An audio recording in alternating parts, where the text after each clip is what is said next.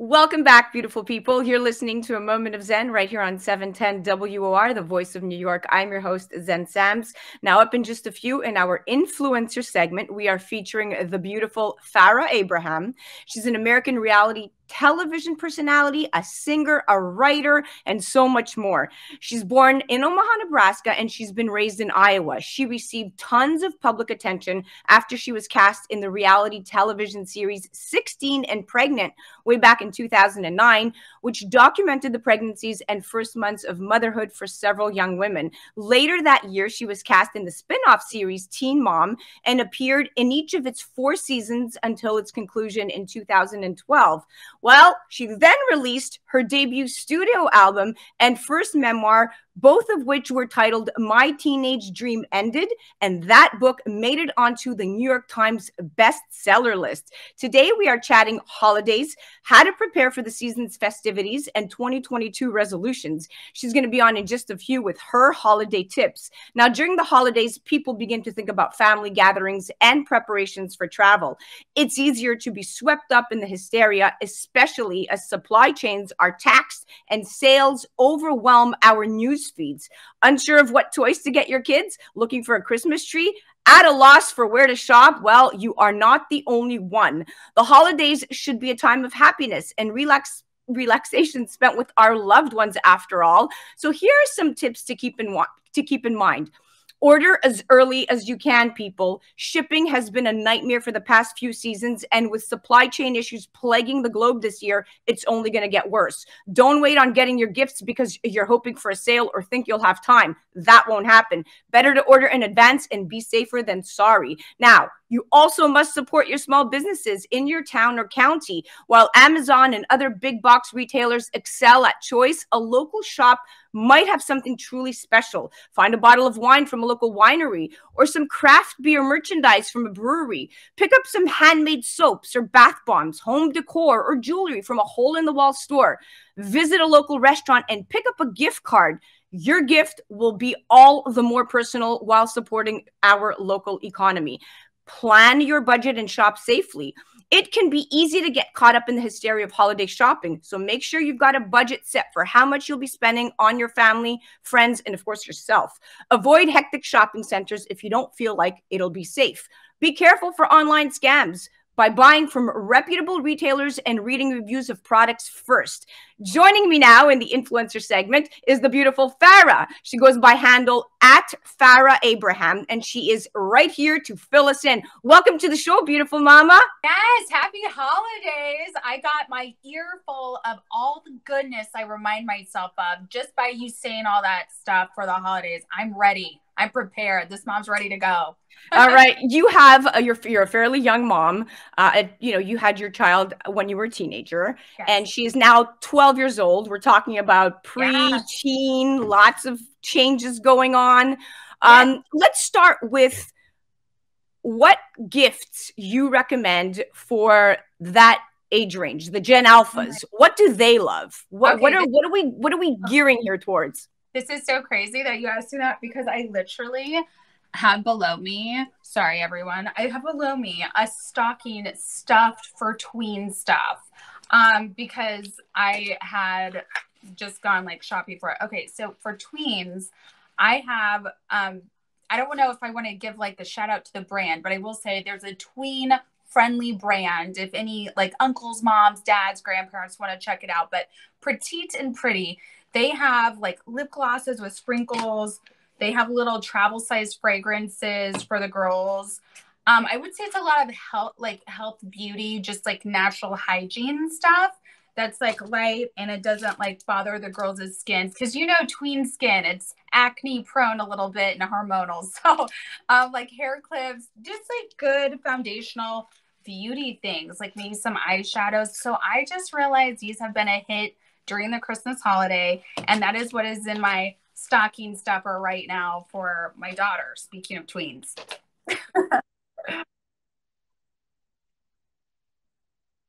and not watching just yet, Farrah displayed this beautiful stocking stuffer of a whole bunch of really eye-catching kind of uh, products for tweens, and uh, and of course that's her specialty because she's got them at home.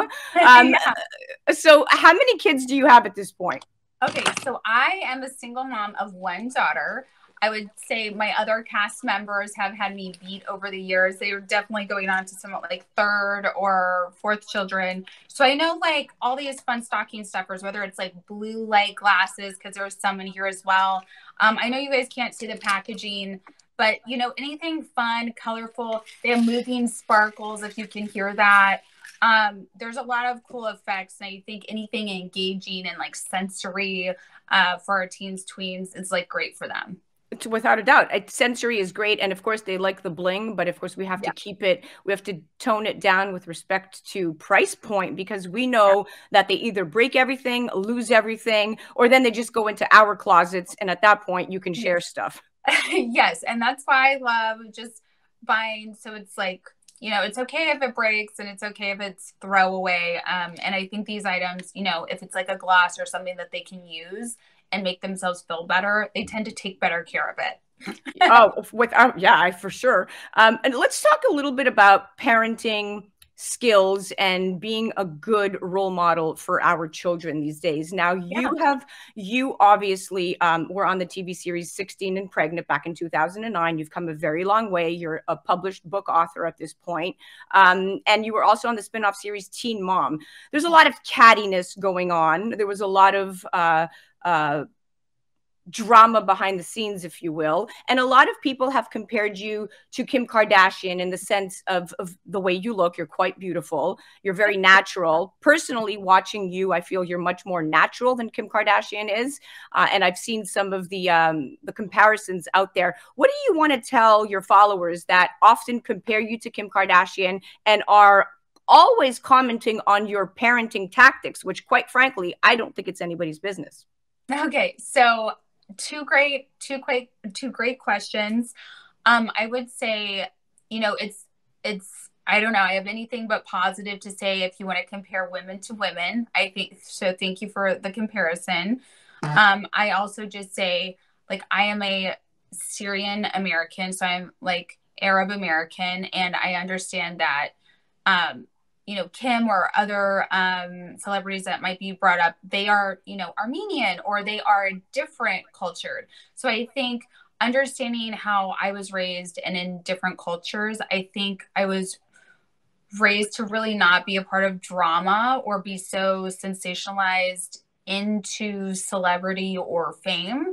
And I think when everyone sensationalizes what I do, it really takes away from the fact of why I became interested in sharing my life story um, to impact other teens and overcome their struggles so that they could be successful. And I think I've just pushed so hard to show that over my time.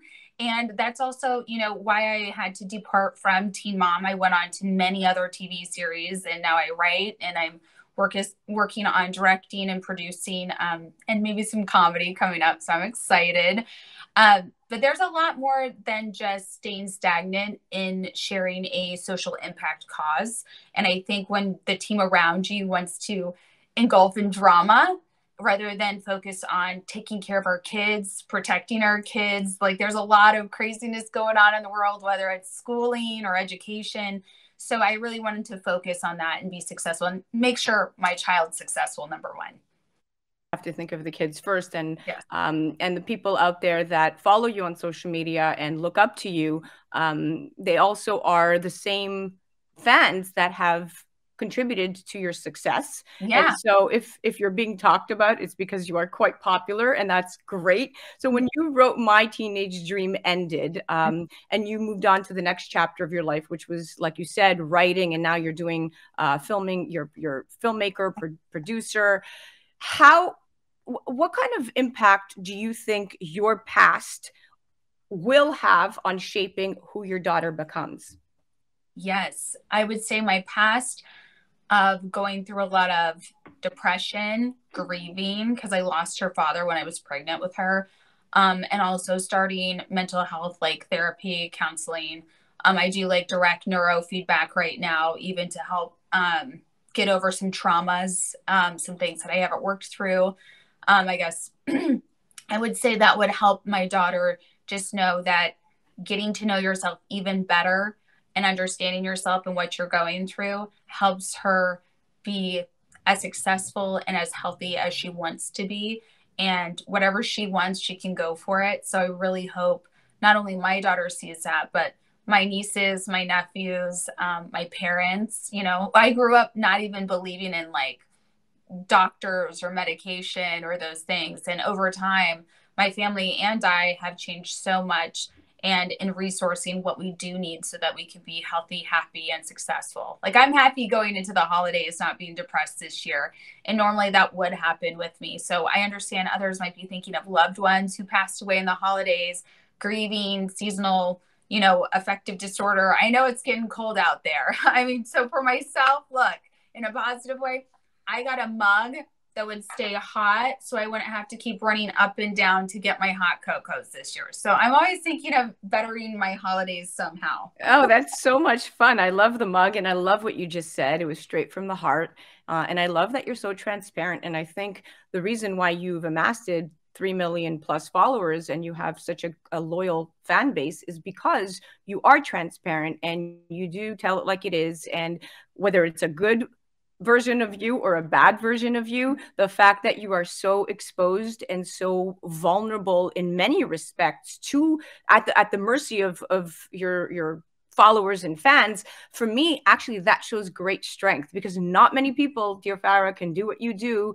and deal with the good and the bad, the criticism, the positives, the all of that is really, really hard. And when you're out there in the public eye, and when you're a mother and you have to stay strong for your daughter, when you have to navigate life as a single parent, essentially, uh, you you you start to look at the glass that you just showed me half full and no longer half empty. And i think this is a brand new chapter for you. Yes. And it's it's a good time to recreate different ways of like what's on my holiday mom gift. You know i this year i really thought of widowers for instance. So if i could you know extend gifts to other moms who are probably home alone with their kids for the holidays. I was really interested in that, or also helping those in need, um, you know, single women on the streets. I think there's just different ways of looking at holidays this year for myself. I actually wasn't so gung ho on visiting the same family members and doing the same things. My family actually was like, wow, you're not coming home for the holidays. And I really wanted to take time for like my health, my healing, and giving it back to other women who I know really, really love having another woman's support. And how great is it to support other women who have been going through such a hard time? I wish I had that at certain times over the holidays. So well, I'm, now you're now you're giving it back. You're in a position of strength. It makes me feel good. Good it makes me you. feel good. And I think others can feel good too, spending time with others this holiday who would really appreciate their time. All right, cool. Farrah, so let's recap. The blue light glasses, the cute glitter uh, for the nails, ah! uh, bath bombs. Uh, we have the travel. We have the heated mug. What else? Do you have anything else? We have about less than a minute left. Any other cool tips? I mean, again, I'm big on heated things. I'm like such a heater bunny. So heated blankets. I also love the um, filled animal uh, beans that you can put in your microwave and keep you all cozy all night. That's good for travel too on your travels for holiday skiing and snow snow trips. So enjoy those. Yeah, and your book is still available, right? Yes, all the books, all the music, everything is online. So if you're interested in podcasting, audiobooks, Kindle, find me wherever you feel comfortable. Oh, we're going to find you all right because how can you not? You're all over the internet. You're hard to miss. Um, all right, cool. Listen, thank you for coming on. Let's do this again. I'm, I'm happy to have you come on and review tons of products for us because you seem to be the go to influencer here. So it was a pleasure talking to you. Pleasure. Happy holidays, Mama. Mwah. Happy holidays. Yes, please check her out. That's the beautiful and gorgeous Farrah Abraham. She's on the gram and she's all over Twitter and YouTube. You can't miss her. And she's not just an influencer, but she's a mom, she's a book author, and now she's enjoying her next chapter. Welcome to 2022. You're listening to a moment of Xen right here on 710 WOR, the voice of New York. We'll be right back after this.